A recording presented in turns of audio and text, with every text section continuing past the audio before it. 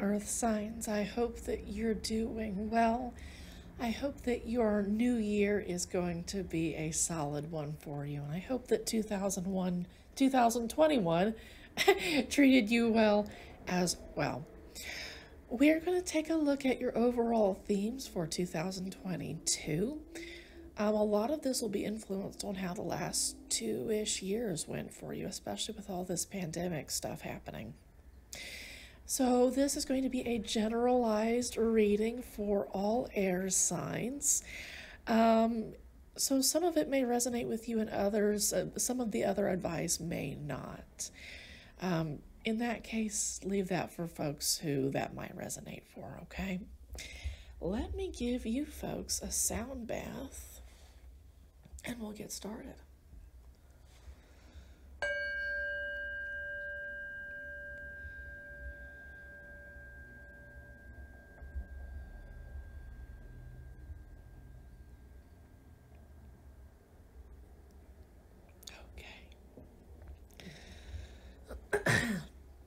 So while Kitty Kitty hangs out with us, I'm going to let Spirit pick a deck. And she says Sufi Wisdom.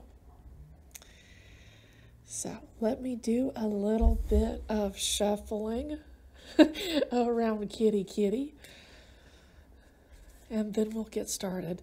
She's supposed to be fed in about two hours, but she's letting me know two hours in advance, just in case I forgot that she does have a deadline for food in her bowl. So we'll do our best to work around her. I'm going to take the first three from the top, okay? So, your first one is to make friends. So, this year, you're probably going to need to reach out to other people for good advice, good ideas, and just for a little bit of a, an emotional soundboard and a spiritual soundboard as well. Okay? So, a lot of you earth signs are going to be taking a look at your deeper purpose in life. So, maybe this is going to be a year where you rediscover your spiritual self. Maybe you get in contact with your ancestors, with your spirit guides. Last and not least, you have self creation. So it looks like making new, really neat friends is going to be part of realigning your life's purpose and recreating, or I should say, creating something new for yourself, like a new spiritual um, journey, for instance. So I want to take a look at um, some mantras associated with these cards. Make friends is one. We'll take a look at that one first. So, your mantra for this card is From now on, I will go along the path which guides me to discover the kind of love that will help me be a better friend to others. This path will lead me to meet new and caring friends. That's that mantra. I want to take a look at life's purpose.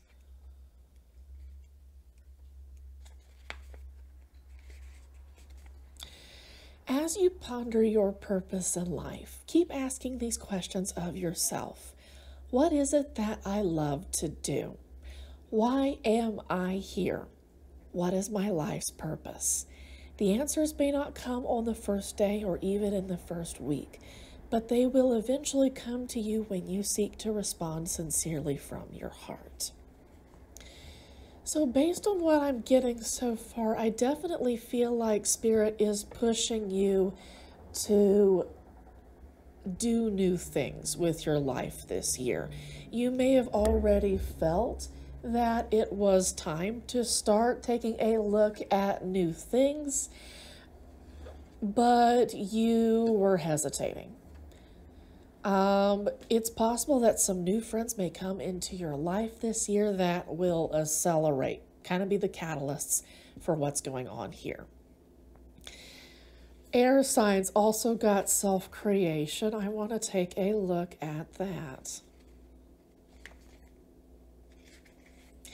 I am determined to adjust myself to what is not in my control and change what I am able to, to change to create my desired life.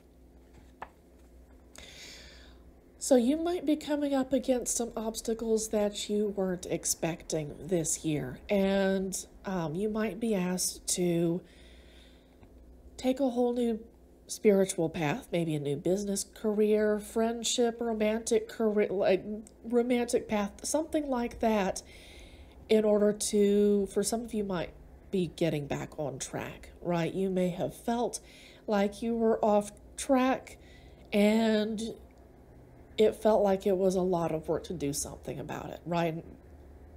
We get that, right? Everybody's been through that stage. So again, this may not resonate with all of you folks, but for other others, this might be what you really, really need. Spirit says to look at the uncertain oracle next.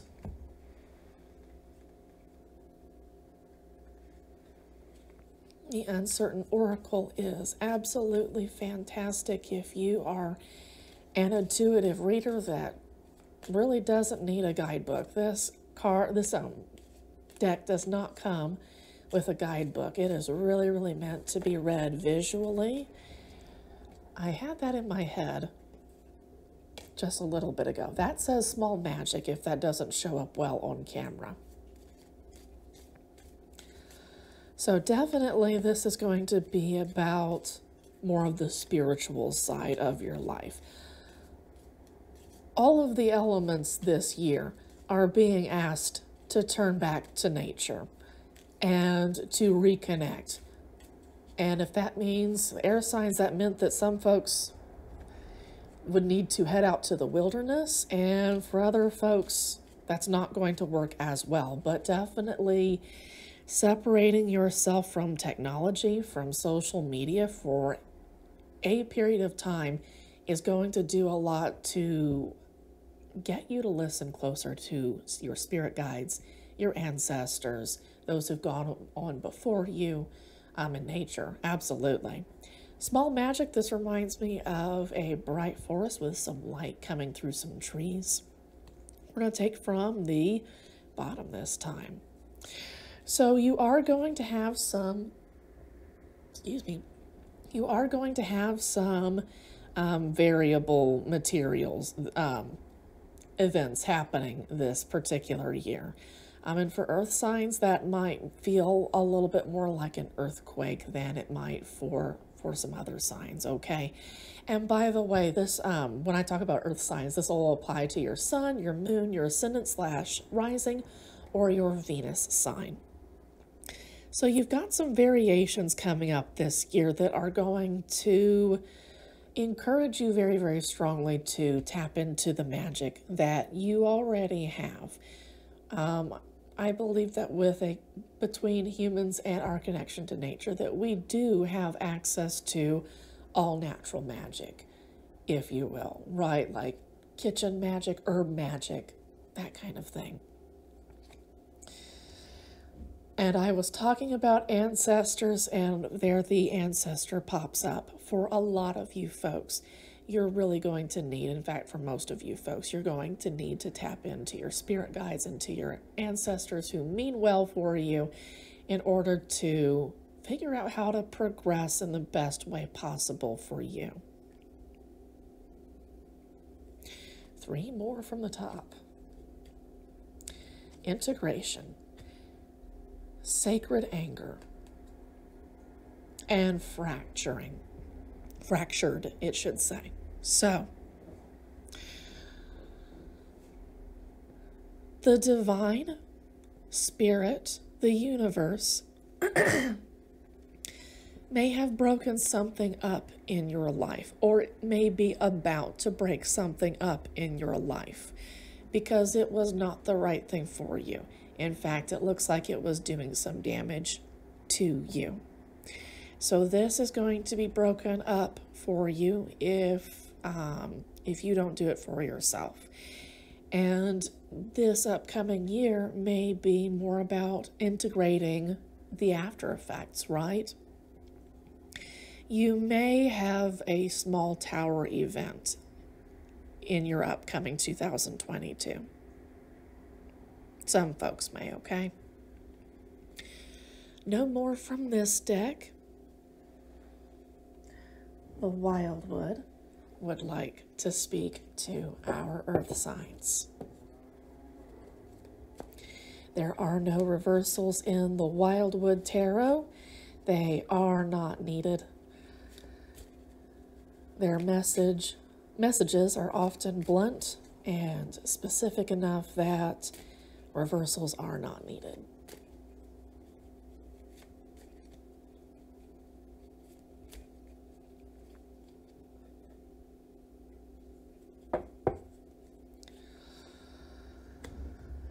Protection. You're going to be protecting something, and you're going to be protecting some a source of generosity from yourself, from somebody else. This is going to be really important. Okay. So, for some of you folks, your generosity may have been taken advantage of, and you're a little bit overprotective of your very giving spirit, right? I can feel that a lot of you folks are very generous, and you feel as though you've been taken advantage of this past year and possibly leading up to this. Maybe for some of you folks, it's been a long time that you feel like you've been taking, adva- taken advantage of. You feel like you have so much love to give, but nobody's giving anything back to you.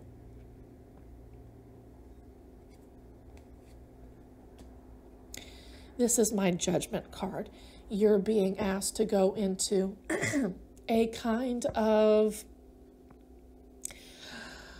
it's a kind of hibernation, but you are very active mentally, right? The thing is with with hibernating animals is they're asleep, right?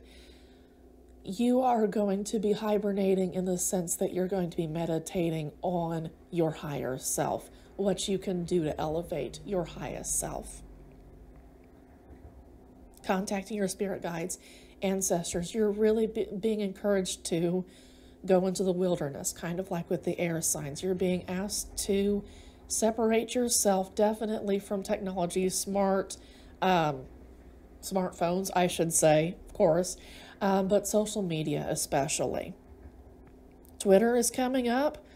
Twitter being a poisonous kind of in influence for some folks, not all.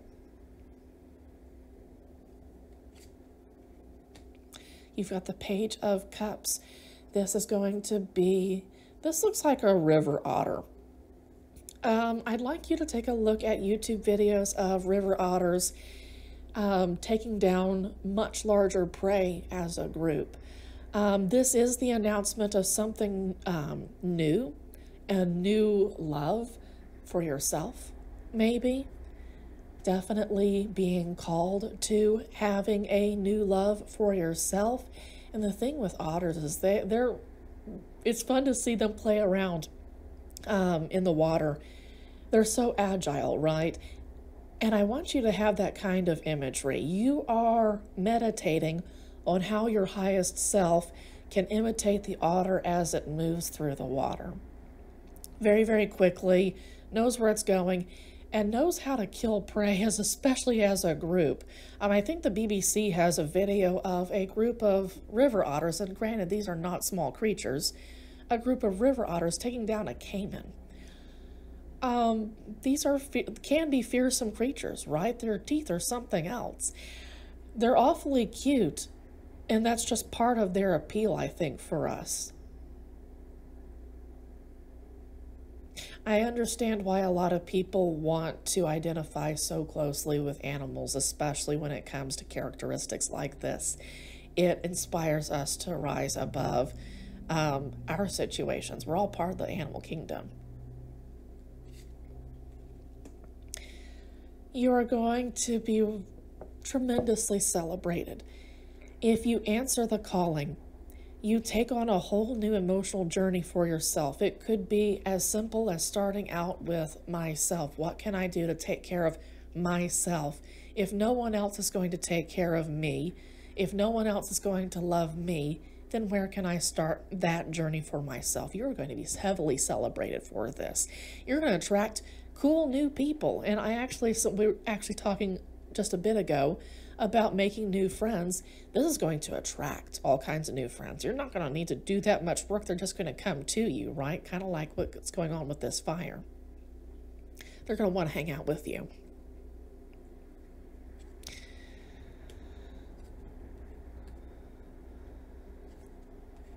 Okay, so you've got some water energy going on for your on quite a bit for you folks. Tapping into your intuition is going to be key. Practicing listening to your to your intuition and making mistakes, right? Saying, "Oh, like okay, I should have listened to my intuition then." Um, that's all part of the process, okay? You're going to be exploring this new emotional route. The Knight of Vessels lands on top of the page of Vessels. So not only are you being encouraged to start a new route, this year you're looking to explore this new route. So this might feel like it happens quickly for you folks. And with rivers, sometimes it does move quickly. You're being asked to go through the flow here. You're being asked to kind of tough it out too. It might be difficult for you folks, especially with kind of being a bit of a lone figure here. This is going to be the King of Stones in the sense that it knows the wilderness very, very well. It can teach others about the wilderness. It can survive through all kinds of harsh conditions. You're being asked to up level how you navigate your circumstances this year. Tap into your highest self Tap into your spirit guides, into your ancestors. In order to navigate this year, I don't know whether these are, it sounds like it's a combination of external circumstances and stuff that's coming from within yourself. Please do consider reaching out to a therapist if it ever feels like that could be of help. Um, no tarot reading from any person, I don't care how famous they are, is ever a replacement for something like therapy from a qualified therapist, okay? Spirit says no more from the wildwood. Taramuja.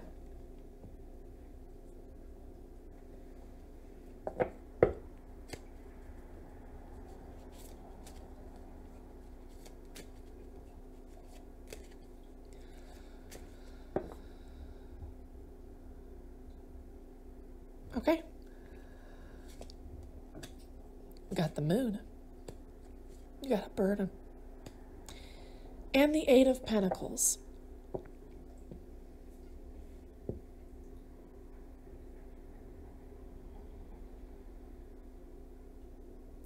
There are a lot of unknown things at this point. This is what this exploration is about. You are hitting all new territory this year. You're being strongly encouraged to hit all new territory this year. The moon card doesn't last forever. It does eventually flip down into reverse when you know everything. You know yourself inside and out. This is asking you to get to get to know your shadow self. I would encourage working with a light worker who is happy to, uh, an established, mature light worker who is happy to take their light into um, some dark places. Or that you need to be willing to explore your shadow self. Um, you ultimately are the only one who can do that. Reaching out to a therapist, reaching out to a light worker, will help. But ultimately, you need to do most of the work 99% of the work. Those folks can guide you. but you need to make this happen. It will feel like hard work. At some times, it'll feel like this is just about too much. This is about to be the camel, the, the straw that breaks the camel's back.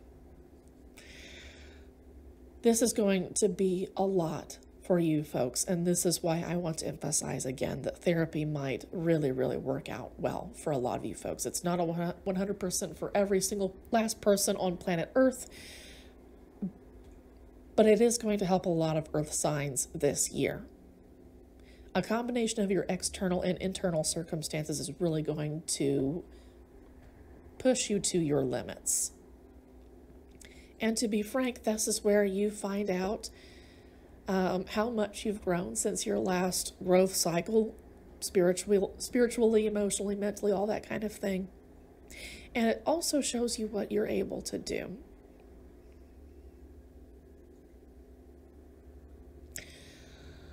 Folks, how about one more sound bath?